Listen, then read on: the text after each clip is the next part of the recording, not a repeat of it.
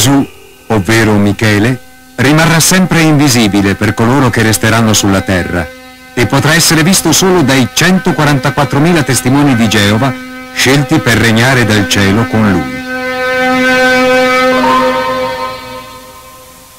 Se tu decidessi di accettare la profezia della torre di guardia relativa ad Armageddon e decidessi di sottrarti a questo giudizio diventando un testimone di Geova, ti troveresti in una religione composta da due classi. Solo la classe superiore, i 144.000 di cui parla l'Apocalisse, saranno sicuri di avere un posto in cielo. Questi sono gli unti. La società della Torre di Guardia insegna che la grande maggioranza dei testimoni di Geova costituisce un gruppo secondario definito come le altre pecore. Non hanno nessuna speranza celeste, ma devono rimanere sulla terra per l'eternità. Una volta all'anno, nell'anniversario dell'ultima cena, i testimoni di Geova e le persone invitate si riuniscono per una cerimonia simile alla comunione. Però solo la classe degli unti che sono vivi oggi, circa 9.000 in tutto il mondo, prendono del pane e del vino. I milioni di altre pecore non prendono parte alla comunione. Le altre pecore non fanno parte del nuovo patto, quindi non hanno un rapporto personale con Gesù Cristo. Come possono perciò sperare di ottenere la salvezza? Al testimone di Geova viene insegnato che non può confidare soltanto in Gesù per ottenere la vita eterna. Come una delle altre pecore deve dipendere anche dall'organizzazione della torre di guardia per poter entrare in paradiso. L'organizzazione dice inoltre che deve guadagnarsi la salvezza, soprattutto facendo delle visite di porta in porta. È strano, ma sembra che insegnino due cose diverse, opposte fra loro. Ammettono che la Bibbia insegna che siamo salvati per grazia, o come dicono loro, per la bontà immeritata di Dio, non per le opere. Ciò nonostante il testimone medio crede, senza alcun dubbio, che se non fa le opere ordinategli dalla società della torre di guardia, ad esempio l'attività evangelistica, andare di porta in porta, frequentare culti e altre cose ancora, non otterrà mai la vita eterna.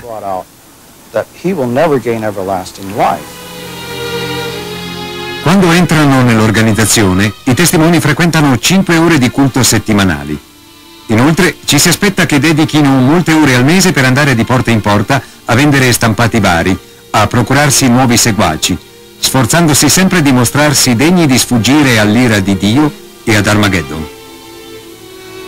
Sebbene credessimo che Dio è amore, temevamo sempre che Dio stesse per polverizzarci, che l'Armageddon potesse colpirci in qualunque istante, non lasciandoci sopravvivere. Anche quando non andavamo di porta in porta un fine settimana, ma portavamo fuori la nostra famiglia, ci sentivamo in colpa per non aver compiuto il nostro servizio di porta a porta.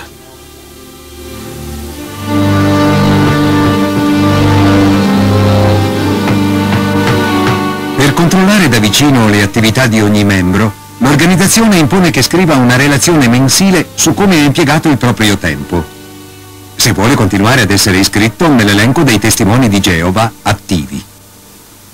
Non conserviamo nessuna documentazione riguardo ai nostri associati. L'unica documentazione che abbiamo è quella relativa a coloro che vanno di porta in porta a predicare.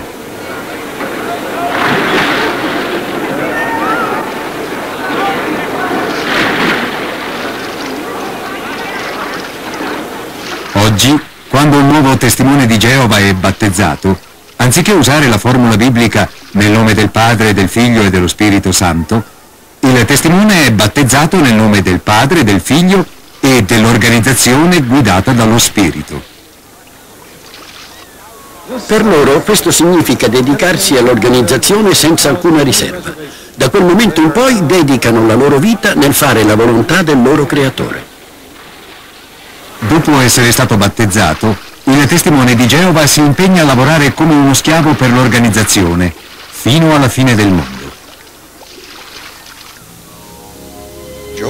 I testimoni di Geova vivono all'interno di una gabbia di regole molto rigide. Per loro è vietato votare, rivestire una carica politica, celebrare le feste nazionali e religiose, appartenere ad associazioni cristiane giovanili. A loro è vietato salutare la bandiera, cantare l'inno nazionale o partecipare ad altre attività patriottiche fare il servizio militare, accettare una trasfusione di sangue, leggere qualsiasi cosa che critichi la società della torre di guardia o associarsi con un ex testimone. A loro è perfino proibito frequentare una chiesa. Se la vita è difficile per un testimone adulto, le cose vanno ancora peggio per i loro figli che frequentano la scuola. La Società della Torre di Guardia ha pubblicato un libro intitolato Testimoni di Geova e la scuola, per elencare tutte le attività che sono proibite ai figli dei testimoni. Ad esempio è vietato festeggiare compleanni, Natale e Pasqua, avvenimenti sportivi, la festa della mamma e del papà. I figli sono le vere vittime di tutte queste restrizioni. I figli dei testimoni non possono partecipare a molte delle normali attività scolastiche e quindi sono spesso derisi dagli altri bambini. Sono veramente fra due fuochi perché da un lato vogliono piacere ai loro genitori e dall'altro desiderano essere accettati dagli insegnanti e dai compagni. Non c'è via d'uscita, sono letteralmente plagiati a livello emotivo. Lo so per esperienza perché mia figlia piangeva quasi ogni giorno a scuola, sin dai primi giorni, finché non trovò una maestra affettuosa che la fece sentire a suo agio in quarta elementare. La vita di un figlio di un testimone è molto isolata, perché giocare con compagni di scuola e con vicini di casa che non sono testimoni è considerato come frequentare una cattiva compagnia. La società della Torre di Guardia presenta i testimoni come delle persone felici e moralmente impeccabili. La Bibbia contiene molti insegnamenti sulla vita familiare e le famiglie dei testimoni di Geova sono veramente felici proprio perché cercano di applicare i principi biblici. Questo li protegge dalle pressioni e dai problemi che affliggono la vita familiare di oggi. I testimoni di Geova, non immuni da preoccupazioni, sono in grado di affrontare le difficoltà che si creano in genere tra marito e moglie e con i figli. Come conseguenza, il numero dei matrimoni che si sciolgono, la delinquenza minorile, il numero dei drogati e degli alcolizzati è molto ridotto. Questi i vantaggi che derivano dal seguire da vicino la parola di Dio. Gli ex testimoni di Geova però non sono d'accordo. Dato che ero cresciuta fra i testimoni di Geova, Avevo sempre creduto che questa fosse un'organizzazione pura, secondo la volontà di Dio.